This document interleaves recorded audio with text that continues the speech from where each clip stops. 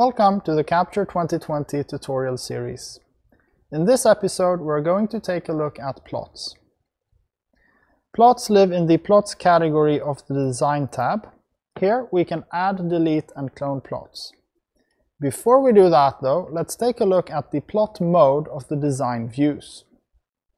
Let's switch the alpha view into plot mode. You can now see that fixtures are drawn with plot symbols and that information about the fixtures are added to an annotation below the symbols. If I switch to the Fixtures tab, you can see that the unit, channel and circuit information that I have input is shown automatically in the annotation of the fixture. In plot mode of a view, there is an important feature called plot adjustments. We can enable this by clicking on the broken link icon in the navigator. And when enabled, we can move any object or fixture symbol without disturbing the physical position in the visualization or simulation. In addition to moving the symbols, we can also rotate them, as well as double-click on the annotation to move and rotate that individually and separately from the fixture itself. For additional properties and configuration options, you can go to the properties of the fixture, where you will find properties like the focus or other options such as the orientation of the fixture and whether to show information such as the optics or the wattage of the fixture.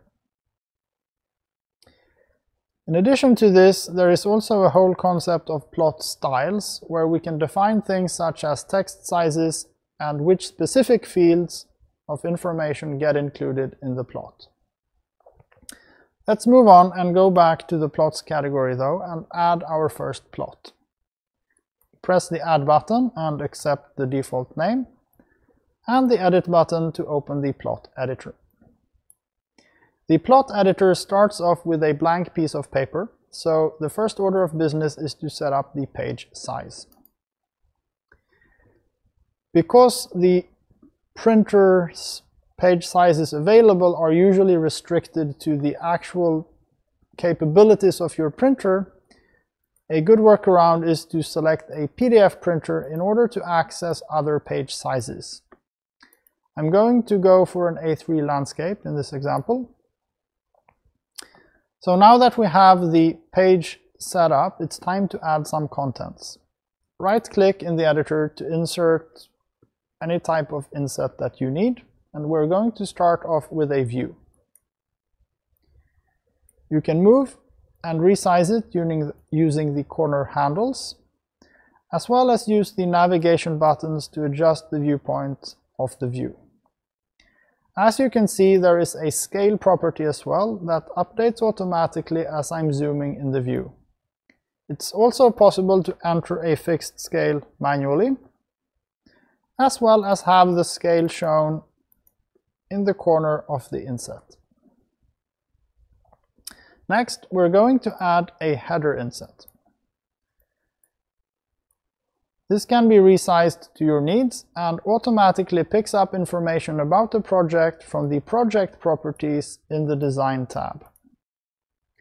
This information is shown in the header and supplemented with the document name and description from the properties of the header.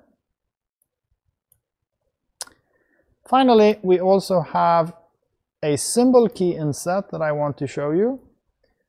This can be resized and used to create both a horizontal as well as a vertical symbol key.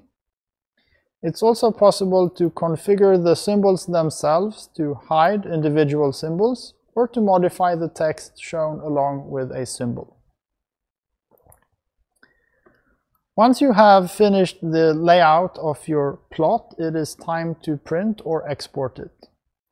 You can use the print button to print directly with a printer or use a PDF printer installed in the system, or, and something we would suggest is using the direct export to PDF option, where all you need to do is select the DPI setting of the plot, and then Capture will export a good optimized raster-based PDF plot for you. Thanks for watching. See you soon again.